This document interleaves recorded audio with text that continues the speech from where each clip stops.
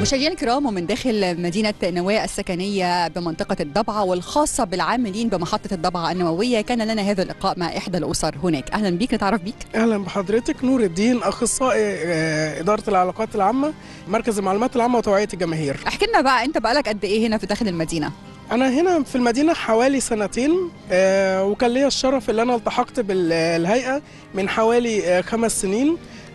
مشروع عظيم يعني آه، سعدت جدا اللي أنا التحقت بيه آه، وأتمنى إن أنا آه، أحقق الدور المطلوب مني على أكمل وجه مم. الله. في مع بداية إنشاء المحطة بدأت العمل فيه دي حقيقة يعني نقدر نقول مع البداية أو نقدر نقول بعد آه، شهور قليلة من بداية ال- انطلاق المشروع النووي المصري مم. وبدأت بعد كده توفير السكن الخاص بالأسر دي حقيقة بمجرد ما انتقلنا هنا لل- للضبعة والعمل بالضبعة آه توفرت لي شقة أنا وأسرتي آه وهم يعني على طول رحبوا اللي هم ينتقلوا معايا في في مدينة الضبعة آه وادينا اهو في الضبعة حوالي سنتين كده إن شاء الله طبيعة عملك داخل ال- المحطة إيه؟ حضرتك قلت أخصائي بس يعني.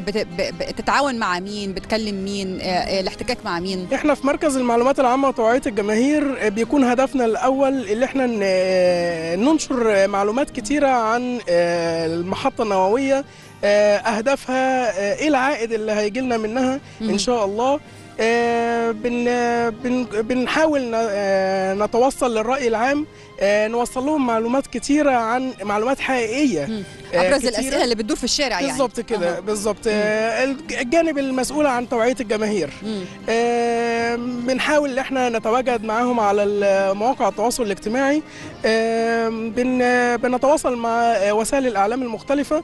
آه، بنديلهم نقدر نقول آه، الأخبار الحقيقية آخر الفعاليات اللي بتحصل آه، الإنجازات اللي إحنا بنقوم بيها في الموقع كل ما هو يخص الشارع المصري آه، اللي عايز يهتم ويعرف المشروع النووي آه، بيقدر يستقي مننا كمركز معلومات وتوعية الجماهير آه، عشان يوصل للمعلومة الحقيقية إن شاء. الله آخر بقى آه، معلومة وصلتها إيه أو آخر سؤال وكان. آه، تواصلت إيه؟ آخر يعني هو بصراحة يعني إحنا عندنا المعلومات كلها يعني مركز المعلومات فاخر معلومة توصلنا لها آه، أو وصلنا ليها فعالية تركيب آه، ال- المستوى الأول مم. من وعاء ال- الاحتواء آه، ده كده كان آخر فعالية تمت في الموقع. وأكتر آه. سؤال الناس بتسأله.